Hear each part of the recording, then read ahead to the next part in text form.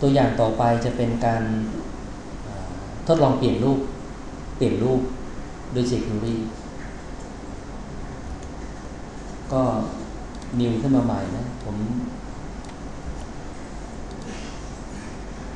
นิวขึ้นมาใหม่ปิดตัวต่อไปครับแล้วก็ใส่นะครับไปทำการขอใช้ไลบรารีตัวนี้ ไฟล์นี้ต้องมีนะในเครื่องของเราต้องมีโน้นอยู่ที่ไหน ตอนนี้มันอยู่ที่เนี่ยนะครับอยู่ที่เดียวกันกับไฟล์ของเราเมื่อสักครู่นี้นะครับเห็นไหมครับที่หนึ่งจิตที่สองตรงนี้มันอยู่ที่เดียวกัน ต่อไปเราจะไปลองทำการหาภาพสักภาพหนึ่งเข้าไปใน Google พิมพ์เอาเอาเอาภาพไหนดี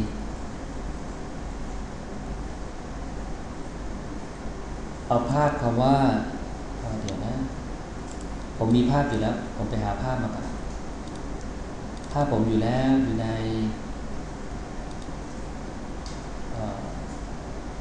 บินสอง data accent image ผม copy พวกรูปๆ accent ของเขามาไว้อย่างอย่างรูปนี้ไม่ใช่ ขนาดดูขนาด อันนี้จะเห็นว่ามันรูปไม่เท่ากันหานี่ หารูปที่มัน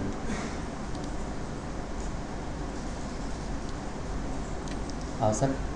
ประมาณสักสองรูปสามรูป copy มา copy มานะครับแล้วก็มาวางไว้ที่นี่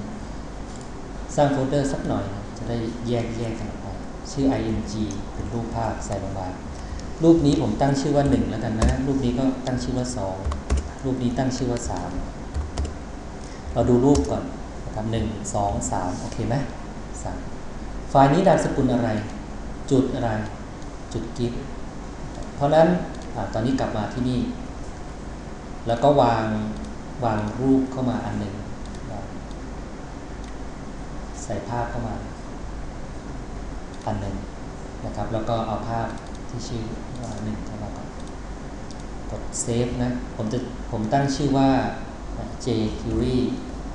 2 html ทีนี้อันนี้เป็น tag img ถูกไหมอันนี้คือ tag img ถูกไหมแต่มันยังไม่มี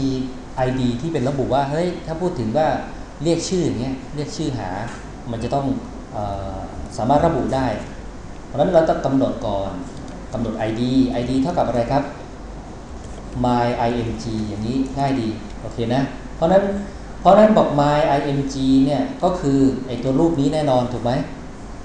แล้วถามหน่อยว่าตอนนี้ attribute ที่ชื่อ ที่ชื่อว่า src เห็นไหมนี่คือ attribute ใช่ไหม src มีค่าเท่ากับ img slash 1 gif ถูกไหม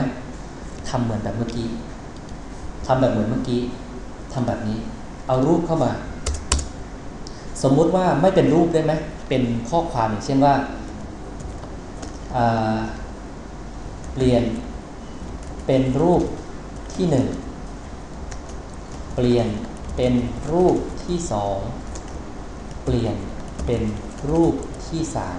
นะครับ จากนั้นตรงนี้นะครับ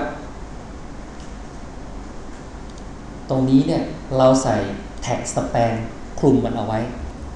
ทำไมต้องใส่ span คลุมเอาไว้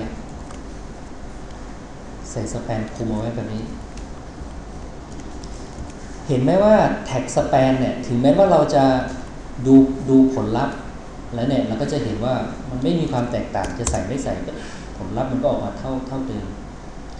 ชื่ออะไรนะครับ jQuery 2นะครับ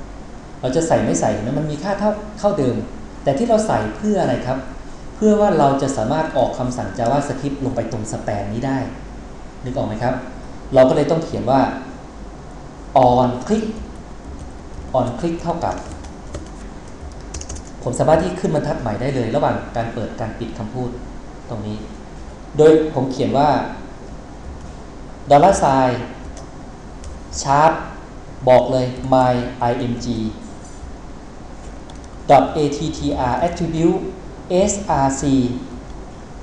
เท่ากับค่าใหม่คือคำว่า img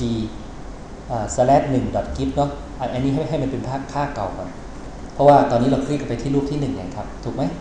เพราะนั้นมันก็จะเป็นค่า ค่าเดิม ดึงมันขึ้นมา มันก็ดูเหมือนว่าเออ มันเป็นคำสั่งที่ถูกฝังไปใน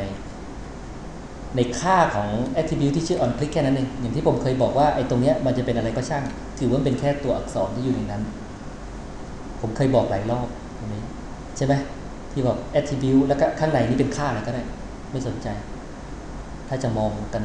แบบให้ให้โดยดูโดยรวม ทีนี้เราก็ copy โค้ดชุดนี้มานะครับ copy โค้ดชุดนี้มาเลย on click อ่า tag span ใช่ไหม tag span copy มาเลยครับ มาวางใส่ตรงว่าเปลี่ยนเป็นรูปที่สองเอามาวางใส่เป็นรูปที่สามอย่าลืมเปิดสแปนก็ปิดสแปนให้หน่อย ปิดปิดแบบนี้นะตอนนี้เปลี่ยนเป็นรูปอะไร หมายเลขอะไร หมายเลขสองคลิก อันนี้ก็หมายเลขสามกดเซฟดูผลลัพธ์ เปลี่ยนเป็นรูปที่สองเปลี่ยนเป็นรูปที่สามเปลี่ยนเป็นรูปที่หนึ่งเห็นไหมครับ มันสามารถที่จะเปลี่ยนได้โดยการใช้เจ jQuery เข้ามาช่วย ง่ายไหมจริงๆมันง่าย อันนี้ก็เป็นตัวอย่างที่สอง